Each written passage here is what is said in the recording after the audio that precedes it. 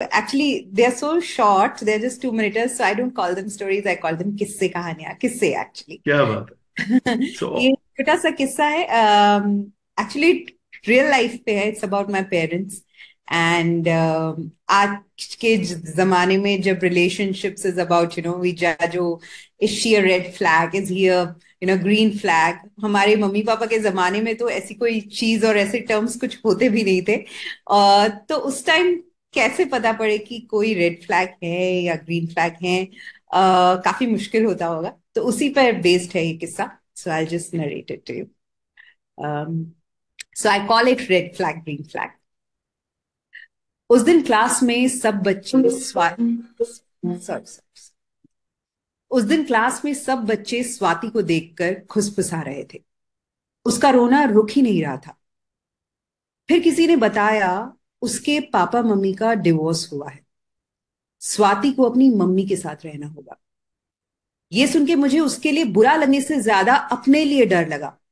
आज स्वाति के साथ हुआ है, कल मेरे साथ हो गया तो मैं कैसे मम्मी पापा में से एक चुनूँगी? मैं अपने सवाल लेकर अपनी बेस्ट फ्रेंड श्रुति के पास पहुँची। वो भले ही दस साल की थी, पर उसका दिमाग चाचा चौधरी से भी तेज चलता था। उसने मुझे एक आसान तरीका बताया, ये जानने का कि मेरे पेरेंट्स का डिवोर्स होगा कि नहीं। मुझे उन पर एक हफ़्ते कड़ी नज़र रखनी थी।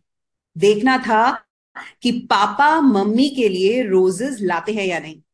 मम्मी पापा हफ़्ते में एक बार मूवी जाते हैं या नहीं। और भी बहुत टेस्ट थे जो अब याद नहीं। बस ये याद है कि पापा मम्मी टेस्ट में फेल हो गए थे। हर टेस्ट में फेल हो गए थे। उनका डिवोर्स होना पक्का था। जब एक हफ़्ते बाद श्रुति ने टेस्ट का रिज़ल्ट पूछा, मैंने झूठ बोल दिया कि पापा मम्मी पास हो गए। सिर्फ़ मुझे पता था कि किसी भी दिन उनका डिवोर्स हो सकता है। सालों बीत गए, पर वो दिन कभी नहीं आया। क्योंकि मैंने ये तो देखा कि पापा कभी रोजेस नहीं लाते थे। पर ये नहीं देखा कि उन्होंने जगह जगह चमेली की बेलें लगा रखी थी, क्योंकि शायद मम्मी को उसकी खुशबू पसंद थी। ये देखा कि मम्मी पापा का नाम नहीं लेती थी, पर ये नहीं देखा कि पापा भी उन्हें नाम से नहीं बुलाते थे। वो छोटी सी मुस्कान नहीं देखी जो मम्मी के मुँह पर आती थी जब पापा ऑफ़िस से आते थे। ये नहीं देखा कि पापा अपना एक पैक बनाकर तब तक भरी गर्मी में किचन में खड़े रहते थे जब तक मम्मी खाना नहीं बना लेती थी। ये नहीं देखा कि जब कभी मम्मी की सुबह नींद नहीं खुलती थी तो पापा उन्हें सोने देते थे। खुद तीनों बेटियों के लिए आढ़े टेढ़े, पराठे बनाकर टिफ़िन पैक करते थे। और भी बहुत बातें थी जो अब याद नहीं। पर तुम याद रखना, आज मम्मी पापा को थोड़ा और करीब से जानने की कोशिश करना। वो खुद अपनी कहानियाँ नहीं सुनाएँगे, तुम पूछना, ये रेड फ्लैग्स ग्रीन फ्लैग्स का चक्कर छोड़ो। उनके पास बहुत कुछ है बताने को, समझाने को। तुम सीखने का कोई मौका मत छोड़ना thank you wow thank you so much बहुत बढ़िया। थैंक यू थैंक यू तो ये एक छोटा सा किस्सा है जब मैं हॉस्टल में थी अ, तब का किस्सा है। इसका नाम है आनंदे बिरयानी। मैं वैसे मिडिल क्लास फैमिली से हूँ पर हॉस्टल में बिलो पॉवर्टी लाइन थी। छह लड़कियों के साथ एक कमरा शेयर करना। चंद सूखी रोटियों के लिए लंबी लाइन में लगना। पखाने और गुसलखाने के लिए बाल्टी अड़ा के नंबर लगाना सब सिखा दिया था हॉस्टल लाइफ में। किसी के घर से मिठाई आती थी तो जश्न मनता था। घर से पैसे आते थे तो आनंद की बिरयानी खाना बनता था।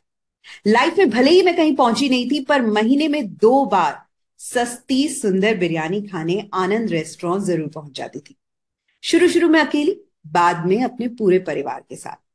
हम छह लड़कियों का हंसता खेलता, कभी लड़ता झगड़ता परिवार। अस्सी की एक प्लेट दो लेग पीसेस और तीन धनिए पत्तों वाला रायता। जेब खुश होती थी तो छह प्लेट मंगवाते थे, नहीं तो तीन प्लेट मिल बांट के खाते थे। मन नहीं भरता था तो पाँच मिनट एक्स्ट्रा बैठते थे। बिरयानी की खुशबू से काम चलाते थे। थोड़ी सौफ खाते, बहुत सारी पैक करके ले जाते थे। आनंद ही आनंद।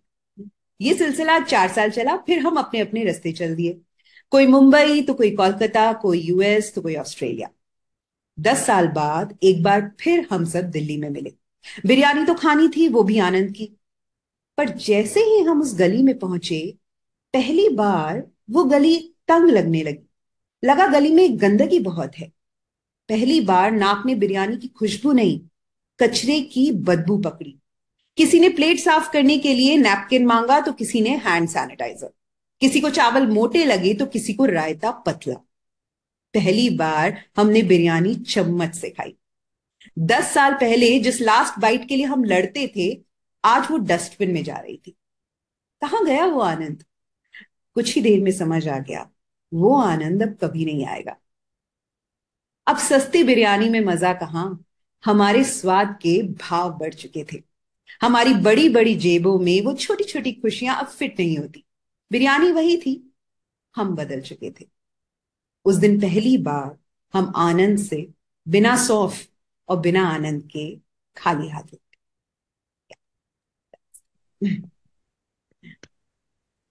thank you so much I think I feel कि बाकी परफॉर्मेंसेज आज छोड़ देते हैं। We can we should listen to Sindhu for the entire session मतलब ऐसा लग रहा है कि सुनते जाएँ आपको एक के बाद एक के बाद एक thank you I, I, I would like to go first. Is that okay? Sure, sure.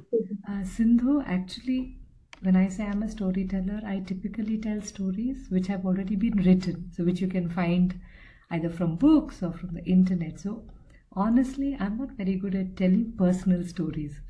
On the other hand, my husband is very good at that. But the way you have crafted your stories and your Hindi, oh my god, it's so beautiful. I really, really enjoyed listening to you. And you brought the imagery live in my I could see it. I could I could picturize Anand Biryani. I could I, I'm sure there were a couple of uh, makkis also around. You know, my brain created all that along yes. with it. And and even your first story was so beautiful. It captures that fear children have about their parents absolutely lovely. Thank you so much. And to, and to do this in two minutes. Thank you so much. and you were able to do this in two minutes. I mean, that's an amazing thing. To, it's very difficult to write a short story, and you've done a fabulous job. Thank you so much, ma'am. Thank you. My so pleasure. Please don't call me ma'am. yes.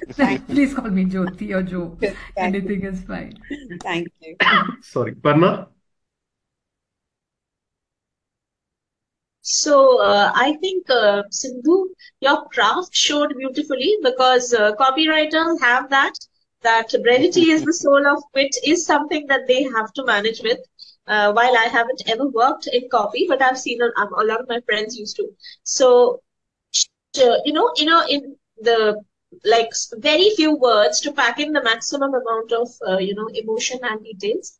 It's both uh, a craft and talent and I think आज आप जिस जगह है ये दोनों आके एकदम align हो गया है right so both your stories and specially the second one was very special for me because I have been a hostel child all my life almost 18 साल की उम्र से I have stayed in hostels till the time I got my own place So uh, this whole, uh, you know, going out with friends and having food at places which आज की date में हमें लगता है हम वहाँ पे कैसे खाना खाने जाते थे खा के इतने खुश कैसे होते थे you know that that sentiment and I realized that uh, and it's it's bittersweet because uh, I sometimes miss that person because I am not that person and I'm sure we all can identify with this that we uh, while we all live in under one name and one uh, you know everything throughout uh, our lives but in that one life span we are all हम कई सारे लोग होते हैं आज की date में जो मैं हूँ वो शायद मैं चौबीस पच्चीस साल की उम्र में मैं there were very little ingredients of that in that person, right? So, so it was very. Uh, I mean, I could totally relate to it.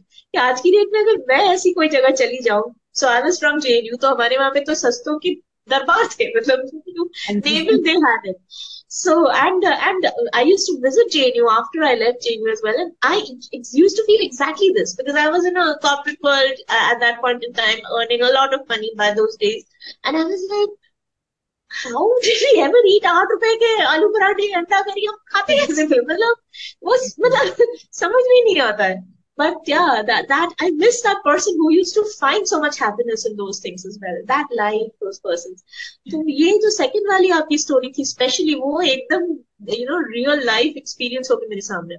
And the first one, I think I think in India it's very relevant because हमारे यहाँ parents में like in a married couple uh, love नाम की चीज nobody speaks aloud. It's just there in between the lines, you know. So for children to think that, you know, my parents, they are not, they are not in love or they are not attracted to each other or they will get separated very soon. It is quite normal. but uh, to, to look for that attachment, that connection in between the lines. I think that makes uh, Indian uh, couples very special that ways because to my knowledge, even in present generation India, we don't see that too much, right? And the red flags, green flags, I, I do believe that चीजों को unnecessary complicate करते हैं हाँ seriously आजकल के barometers काफी strange है exactly so, so both stories were very relatable, and uh, you are an absolute masterclass in what you do. So, I, I mean, to say I enjoyed it would be an understatement. Uh, it was actually a part of me, so which is which is what I think is the highest credential of a performer. So thank, thank you so much. I'm a cloud nine. Thank you so much. Thank you so much. I hope uh, we get to hear you more often.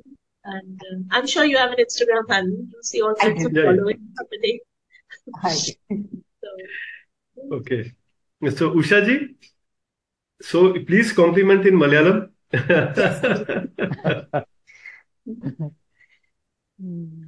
ജ്യോതി വളരെ നന്നായിരുന്നു. എനിക്ക് വളരെ ഇഷ്ടപ്പെട്ടു. വളരെ എന്താ പറയാ ലഘുവാണ്. At the same time നല്ല ഡെപ്ത് ഉള്ള സ്റ്റോറീസ് കുഞ്ഞുണ്ണി കവിതകളൊക്കെ പോലെ പണ്ടത്തെ വായിച്ചിട്ടുണ്ടോ അറിയില്ല. അതുപോലെ. കുഞ്ഞുണ്ണി കവിതകൾ അമ്മയോട് ചോദിച്ചു നോക്കൂ. അമ്മ പറഞ്ഞു തരും ഓക്കെ അതുപോലെ. So what I wanted to say is that her narrative style is first of all really impressive and concise at the same time in depth and with elevated thoughts undefinably uh, uh, what to say uh, comprehensive your words are. Then what i liked in the first one about relationships me also being a life coach i'm dealing with many couples who are facing these problems. So as you said the red flags green flags def- definitions even i don't believe in that. uh, are, which cannot be seen, uh, some signs which cannot be seen of love and uh, understanding will be there between couples, which only they can understand, right? So that meaning, I really, that message was there in your story. And the second one, uh, even uh, like Parna said, I also spent uh, almost 10 years or so in hostel. So you were, but it was in Palkad, Kerala. So your Anand Bhavan, there it is Sharavana Bhava Hotel. Okay? so you have brought me back with lots of nostalgic feelings about my college days. Both the stories were very nice. Looking forward to hear more such tiny, tiny stories from you. Thank you so much. Thank you so much, ma'am. Namita? Very uh, touched. Thank you so much. Uh, beautiful, uh, Sindhu. I think uh, really enjoyed listening to both the stories, and both the stories were so relatable. And uh, let me share two personal anecdotes why it's so connected with me. It's so surreal that just this morning I had a very similar conversation with my daughter. Wow. and uh, she was she was saying that uh, you know uh, you uh, both of you should just go out you know. And then i was trying to tell her that we have done all of that. And now you know we just want to spend time in a very different way. And then i was telling her the small things that we do for each other which uh, you know which make us the couple that we are so I could so much relate to it. Uh, I couldn't just believe it that it is so surreal that uh, this just happened with me uh, today morning, and and it explains how love is so much beyond the physical attributes, and it is so much about just being there for each other. It is about in the smaller things that people don't see. So this red flag, green flag thing, I, I completely agree. And this thing for me also resonates personally for my um, even for my mother-in-law because uh, you know, generally we say that okay, mother-in-laws are very strict, but like for me, my mother-in-law, she used to do so many things which expressed her love for me. She would keep food ready for me when I came back from work, and that was such a big gesture, right? So it's not just between couples. I think smaller things, uh, smaller signals are so big in itself that that love is not definable in that sense. And your story beautifully uh, expressed that. And your second story also, I think, uh, very relatable. I have never lived in hostel, but um, but I remember this that when I was a child, um, uh, you know, we with my cousins, I, I, I used to spend holidays, and uh, we we didn't have pocket money then, so we used to go to one place and get one milkshake and share it between okay. three of us. so I can now possibly I won't go back to that place again, but but that place for me will always be in my memory uh, because of those uh, in, in, you know the, the time that we spent there. So thank you for taking us back into nostalgia. Thank you for explaining such deeper points through your uh, extremely engaging stories. So enjoyed it and look forward to listening to more. Thank you much, ma'am. And in fact, I would love to narrate the story to your daughter too someday. Rakesh ji Sindhu आपकी दोनों stories बहुत ही शानदार थी जो आपकी पहली story थी उसने मुझे रियली टच कर लिया है कि हर आजकल इंडिया में या शायद बाहर भी होगा हर दूसरे घर में डाइवोर्स का केस हो रहा है हर दूसरे घर एक डाइवोर्स का और हम लोग समझ ही नहीं पा रहे हैं कि ये क्यों हो रहे हैं इतने ज़्यादा डाइवोर्स तो यदि ये आपकी कहानी में जो पॉइंट्स आपने टच किए हैं डाइवोर्स के रीजंस कि लाल गुलाब लाना ज़रूरी नहीं है रोज, लेकिन वो चमेली का पौधा, क्योंकि वाइफ को, आपकी माँ को बहुत पसंद था, पिताजी ने, इसलिए वो चमेली का, इस तरह की जो छोटी छोटी बातें हैं और वो पराठे बना देते थे जब वो सोती थी, यदि इन बातों का ध्यान आजकल कपल्स रखने लग जाएँ तो मुझे लगता है कि डाइवोर्स का रेट बहुत कम हो जाएगा। तो आपने बहुत ही कम टाइम में आपकी क्लियर थॉट बहुत अच्छे तरीके से लेके आए हैं नरेशन बहुत अच्छा है और दूसरी स्टोरी भी आपकी बहुत ही अच्छी थी और मैसेज बहुत डीप था दोनों स्टोरीज में। तो thank you for this story thank you so much sir thank you so much Manish ji?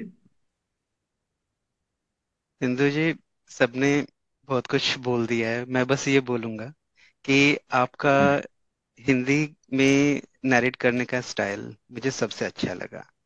जितने जहाँ पे, जिन शब्दों पे वज़न देना चाहिए, जहाँ पे पॉज देना चाहिए, जहाँ पे सस्पेंस क्रिएट करना चाहिए, वो सब क्रिएट हो रहा था। और साथ में हाँ ये हम सबके बचपन से जुड़ी हुई चीज़ें हैं। कहीं ना कहीं हमें भी लगता है मेरी बेटी को भी लगता है कि मेरे और कविता के अंदर कल ही डिवोर्स हो जाएगा। तो वो हम समझ सकते हैं। वो मेरी वाइफ तो कभी भी बोल देती है जब मैं से गुस्सा होती है मैं डाइवोर्स पेपर पे साइन करके रख के आई हूँ इंडिया में बस लेके आने हैं मुझे। तो अगर ऐसी हो तो मेरी बेटी तो डर के मारे जो है हर वक्त परेशानी रहेगी इनका तो कब पता नहीं अलग हो जाए। पर नहीं उनको ये भी देखते हैं और जब बच्चे धीरे धीरे बड़े होते हैं दस साल की उम्र होती ही क्या है? तो दोनों स्टोरीज बहुत अच्छी थी एंगेजिंग कनेक्टिंग बहुत मज़ा आया। आते रहिए सुनाते रहिए। थैंक यू सो मच तो we should give a huge round of applause to Sindhu बिल्कुल। Thank you so much thank you you all have made my day thank you so much